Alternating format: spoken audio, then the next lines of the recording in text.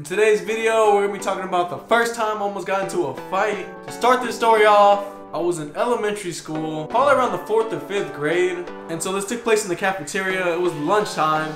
And of course, my chubby ass was in line, ready to give me some mini corn dogs. About to buy two or three orders of them bitches. And so I'm standing in line, my heart's racing, my mouth is watering, I just can't wait to eat, my stomach is growling. All I can think about is just pouring ketchup all over them corn dogs and just shoving them in my mouth.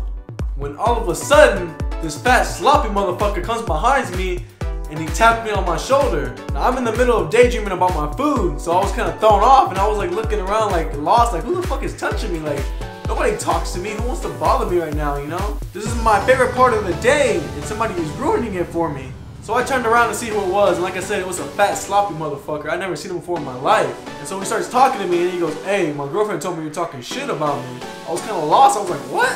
Talking shit about you. I was like, I don't even know who the fuck you are. I've never seen you before in my life, dude. And he goes, yeah, bullshit. My girlfriend told me you're talking shit about me. If you got something to say, say it to my face. I just look at him, I'm just like, okay, like. I guess he thought I was getting him attitude or something, trying to blow him off. So he was like, what you say, you bitch ass nigga? Like, he was trying to get in my face, dude, you know? I'm just standing here awkwardly, still thinking on my food. I'm just like, what?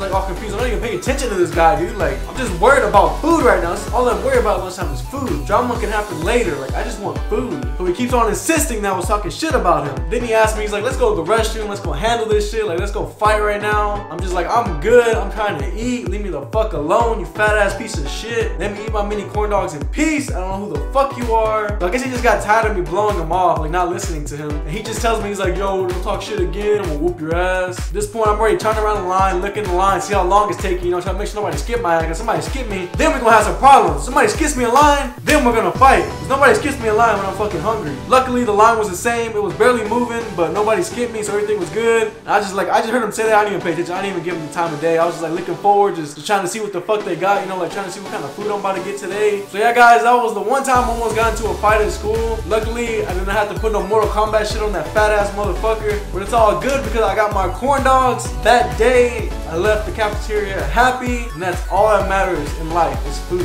Remember that. All that matters in life is food. Thank you guys for watching my video. Hope to see you guys in my next video. This has been TuCruciaL. Peace.